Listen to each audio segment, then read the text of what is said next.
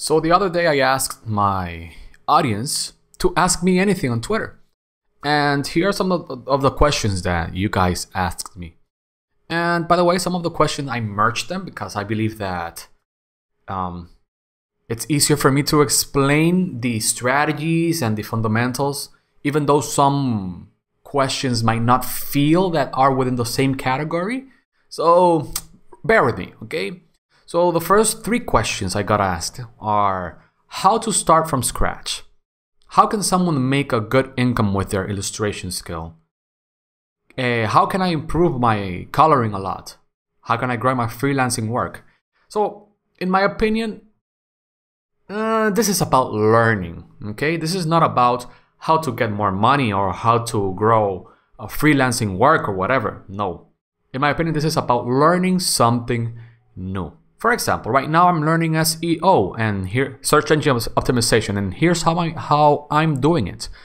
Um, I purchased one course, and I enrolled in two free courses. Okay, I also purchased some software that some of my fellow Twitters tweets uh, taught me to to purchase to better my SEO, and I also watched some YouTube videos about that particular subject SEO.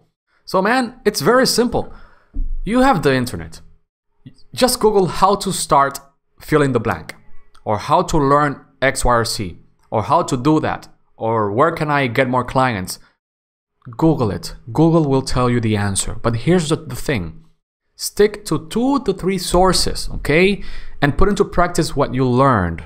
Don't, don't, don't shy away from those two or three sources. Stay within those two or three sources. And here's the thing stick to that project for at least six months. if you're not, if you're not willing to do this for at least six months, don't do it, man. Don't do it. Okay? Because, for example, illustration, it's something that takes time to develop. Coloring is something that takes time to develop. Freelancing is also something that takes time to develop because you need to learn how to find clients, how to pitch your services to your clients. Okay? And how to get paid the, the amount that you want to get paid and a lot of more things. So really google it and read a couple of articles. Buy a couple of books and just read through that. Or watch some courses like i'm doing. I watched three courses in a in a span of two or three days. How i did it? I just 2x the speed and i watched and then i implemented what i learned. I also took some notes and some from time to time i put it in, a i put the video on pause okay? So don't overcomplicate the process. You have this you have already the the idea okay? It's it's now time to put it into practice. And if you don't know where to start just google it man. Really google it and buy some courses and learn from two or three sources. That's it. Now another question i got asked. How do you get better engagement on your social media post one be polarizing. And no i'm not talking about talking about polarizing topics, about things that make people's hair go on fire. No, I'm not talking about that. Okay. So if you have an opinion, okay, and let's say that opinion is, well, let's say you think that people who watch Netflix are dumb. well, that's polarizing. You know, you're you're polarizing there. You you could tweet something like if you're wasting your time on Netflix during a pandemic, you're dumb. That's a polarizing tweet. Now, here's the thing you are antagonizing a group of people. You, I suggest you could, you could from that, from time to time, you can antagonize a group of people, but just don't do it in a way that's overly offensive. Okay, don't, don't, don't go nuts on this. Okay, with polarizing, I also talk about um, using absolute words. So, for example, using the word always or never, or the word the very the, the same word absolute is polarizing because it's absolute. There's nothing more um, 100% than that. Okay, so you polarize by using absolute words, antagonizing groups. Now take care of the antagonization because when you antagonize groups, you get you get hammered online. So don't don't do it that, that often, okay? But here's some groups that you can antagonize lazy people, stupid people. dumb people, politicians, those are people that you can antagonize, okay? Just don't go against groups that are trying to do, to to better others other people's lives, okay? Try try not to do that. Um, also be prolific. The more you um, tweet, the more you post, the more people will pay attention, okay? Be prolific with your posting schedules. Post more, tweet more, talk, engage more with your audience. What do I mean with engage? Reply to their comments, slide into their DMs and, and connect with them, ask them questions. Do what I'm doing right now. This is me connecting with my, my Twitter audience, okay? Be prolific about that. And also be constant. Very, very important. You need to be consistent. And here's a way to say it in a polarizing way. People who are not consistent will always fail. Well, that's a tweet there. That's a post. That's a polarized, well, social media post. Everyone who who doesn't develop their self-discipline are destined to fail. That's polarization right there. And it's also something that feels truthful enough. Okay? So be polarizing, be prolific, and be constant.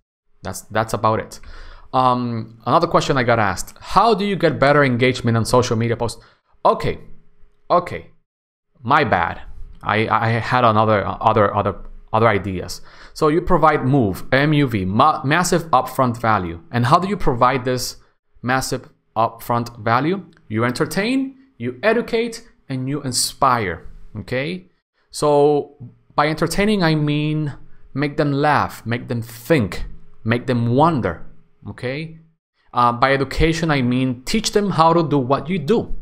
That it cannot get as more simpler, more simpler than that. How did you learn what you know? Talk about that. What, what were your struggles when you were learning that thing? Talk about that. How did you solve those struggles? How did you fix those problems? talk about that.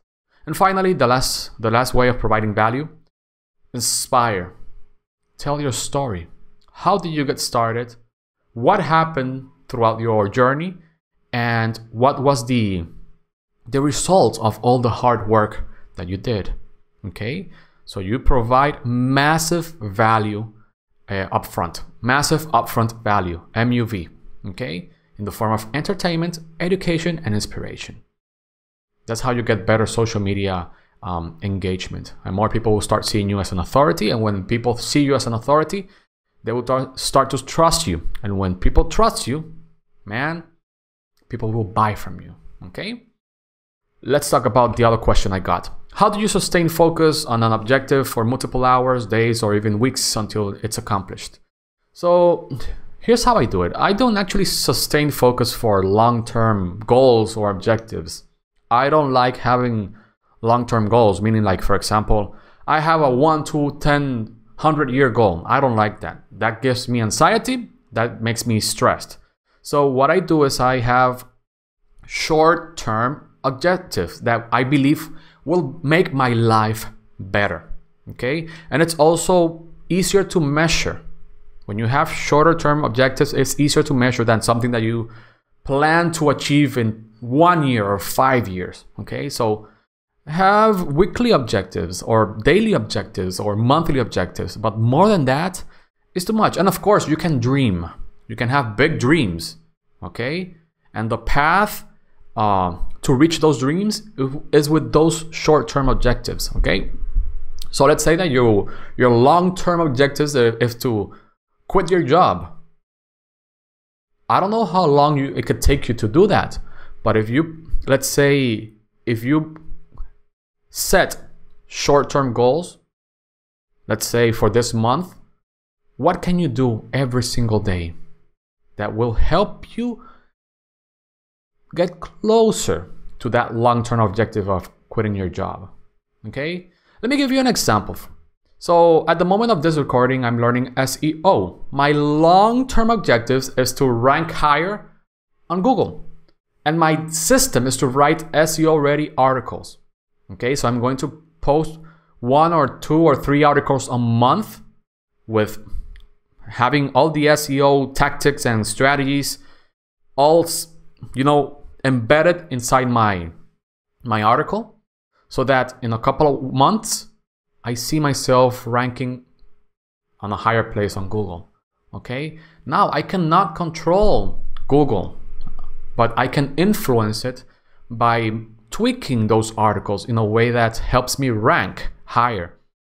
So my system is actually writing more articles, more well written articles, more SEO ready articles using all the tactics I learned about SEO and see myself ranking higher. If and if that doesn't work, I'll just keep trying. At the end of the day, I was still going to be writing articles for my blog and for my uh, newsletter. So now I'm just taking the SEO approach to write those articles and those emails. That's it. Now, of course, the emails will not rank on Google, but I later on I could copy paste those emails and put it on my blog post.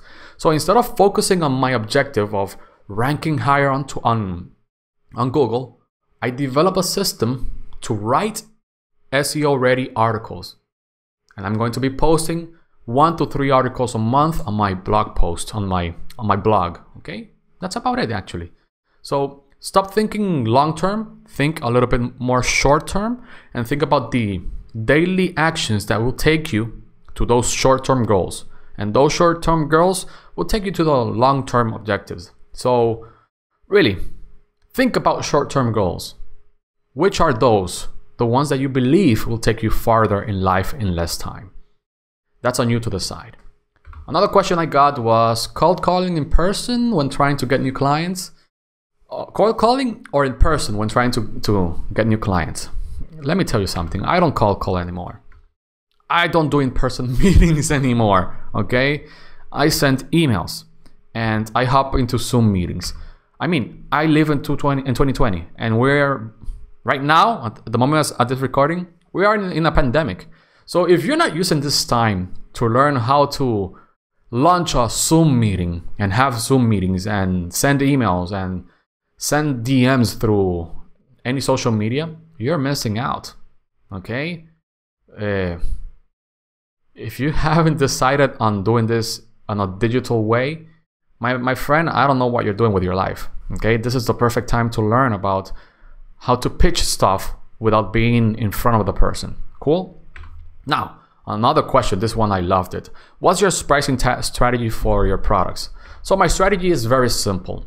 I always price low during a pre-sale, for example, and I promise that the price will go up after the pre-sale is over. A pre-sale is selling something that still might not be ready, or that's um, I don't even know how to explain it, man. It's just it's just selling something in which the person who pays you for that thing is not getting that thing in that very same moment, but they will get it when the time is is is is there. Okay, so oh, so always price low and then promise to raise the prices. So for example, if the if I already launched the product and I update the product or add more content to the product, I always raise the price. But before raising the price, I tell my audience to purchase it before I raise the price. Okay? That way I can use the urgency. You know, urgency is one of the best persuaders in the world because it's based on fear fear of missing out on the discount or on the offer. Uh, when people see they only have 24 hours left to do X, Y, or Z, that gives them urgency. Think about the time that you were at school and you had to, to write a, a report for the next day. You've been delaying that thing for three months and you will write that report from one day to another because of the urgency. Okay, so the same thing happens with your with, with your products. Promise people that the price will go up at a deadline and actually raise the price at the deadline so people understand that you actually deliver on your promises of raising the prices. Now, if you see me promoting a one to ten dollar offer, it's because um, I understood that free is not good, and you know I remember from time to time I had like free products. I do have some of those, but I, I don't I don't promote them very much. And then by pure serendipity, because of an error of the ecom platform that I use, um, I couldn't price the the product at zero dollars, meaning at free. So I priced it at one dollar. Okay, and I saw that like 200 people purchased that free product. That digo, that one dollar product. I got like 200 emails, and I got paid for those 200 emails. If I had priced that at zero dollars, I, I I've been there. People don't actually get it. They just don't. But at one dollar, I got 200 people to give me one dollar, and also I got 200 emails. So if you see me promoting something at a very very low price, it's because later on I will pitch you something else, a more expensive product, by the way. So I've decided not to create so many free products. The only free products that you're going to get are like this kind of videos, the free content that I that I put in my email list and in the videos on the YouTube videos, but that's it. Then no more free guides. I highly doubt I, I will create a free guide or a free course from now on because I notice that people don't actually get in when they see free. And when they see free, it's usually it's not the type of people that I want uh, within my email list or buy my stuff, by the way. That said, what are the skills that every person should know before their 30s? These are the ones that I believe work the best and across all industries. One, persuasion, meaning the art of influencing someone to do something for you in which you and that person both benefit. It's a win win situation. Persuasion is not manipulation. Manipulation is when you influence someone uh, for your own benefit against the self interest of that person. So they get a bad deal. No, that's that's manipulation. Persuasion is when you both win. Okay.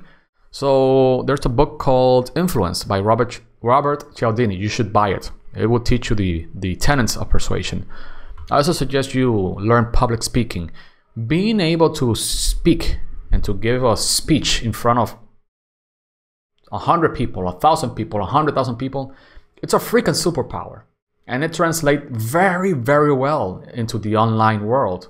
For example, what I'm doing right now is practicing my public speaking because even though I'm not in front of, of, a, of a real audience, I'm in front of you guys in a digital way.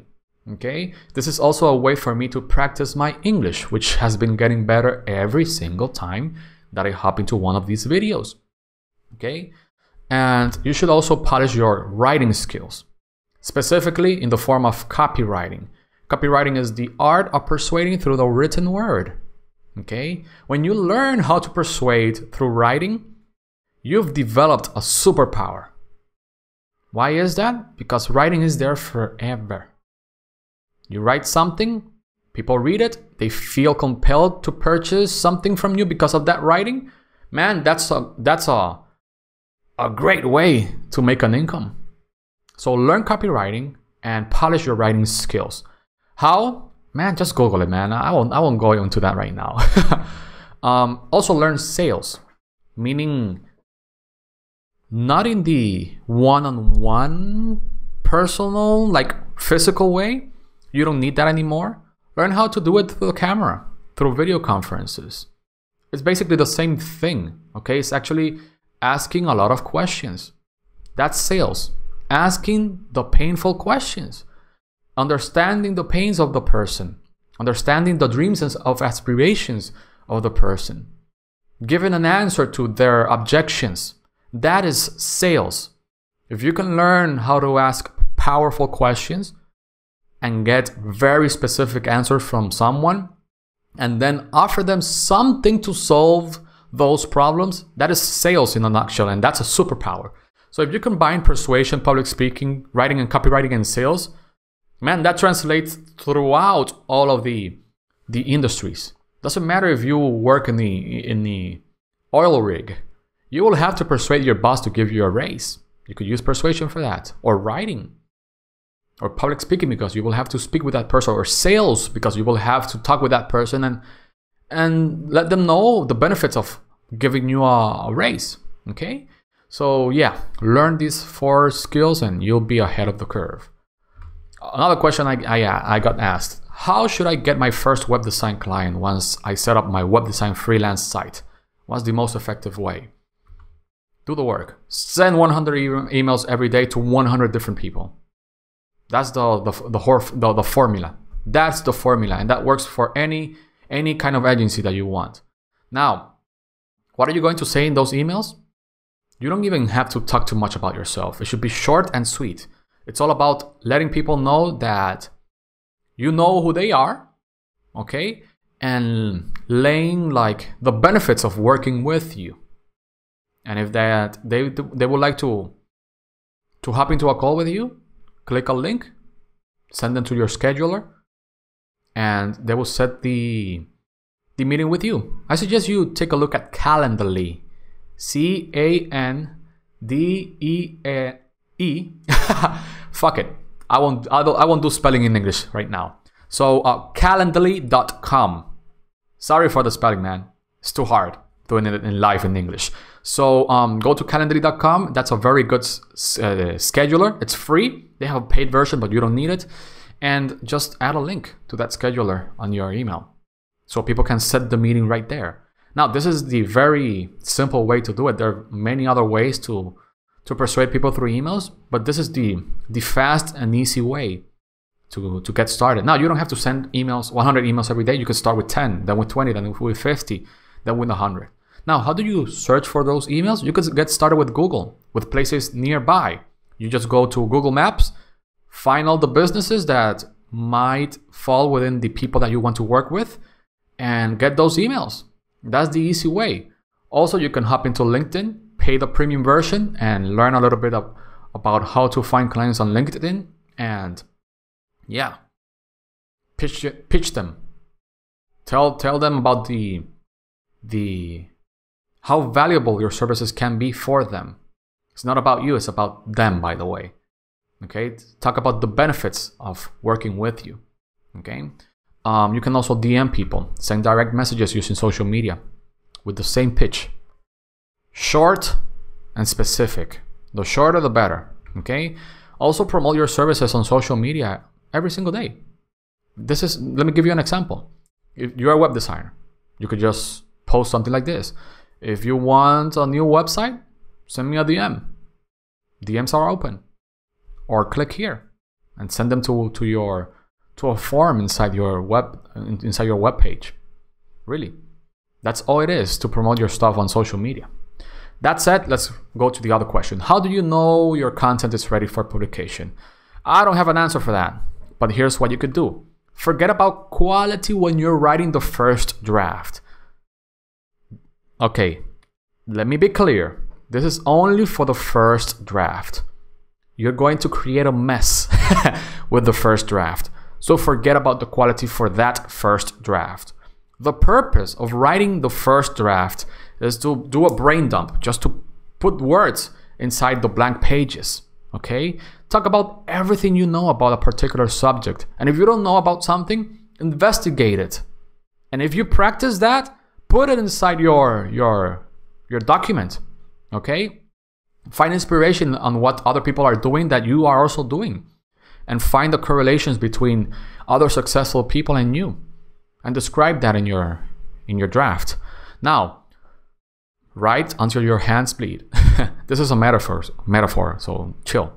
Um what i mean with this is write write write write write write as many words as you can disregard quality for this first draft and then when you're somewhat happy happy you know with your first draft start editing and start moving things around. Okay? This is when you start thinking about quality and making your draft better. And something inside of you will say, okay, this good, this look good enough. It will never be perfect. That's the unfortunate reality of creating content for any kind of audience. You will never feel it's perfect. But if it go- if it looks good enough for you, put it, post it. Who knows, man? Later on, since since most of the things are digital, you can you can always update the stuff. Okay. Now make sure that what you post online makes you feel good.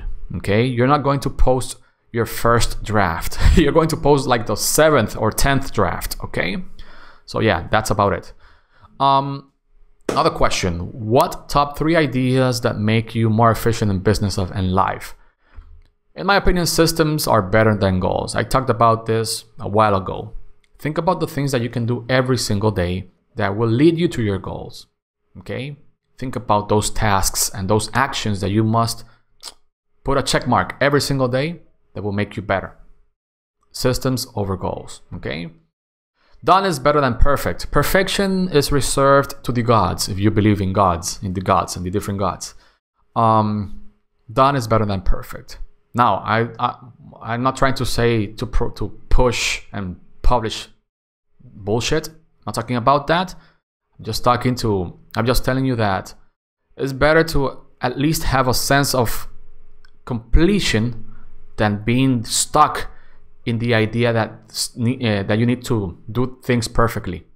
Okay, perfect. You cannot do things perfectly. That's impossible for a human being. So done is better than perfect um, and set the ball rolling because starting out is the harder part. Okay, it, it's really hard to get started. So do so by reducing the friction before uh, uh, reducing the friction the friction of starting out. That's what you need to do. Make starting out very very easy. So if you have a big task, divide that task into smaller actions that you can take. So if you want to write let's say a, a novel, a hundred thousand word novel, start by writing a hundred words. Start by imagining the characters.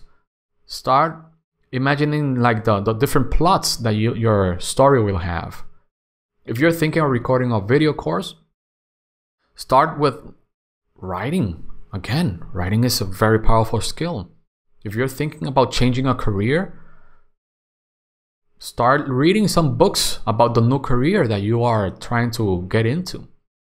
Okay? So take small steps that are not difficult to take. Because starting out is actually the hardest part. So, what now? I encourage you to visit my website, rosa.do slash links. You will find tons of links there. Very, very powerful links. Very cool things. Very important things things that might change your life, things that will teach you some of the skills that I already possess, like web design, for example. And you can also join my newsletter. There's a link in there. And there's a link also to read my newest blog post. So go there and subscribe to my newsletter. That's about it. See you soon. Bye bye.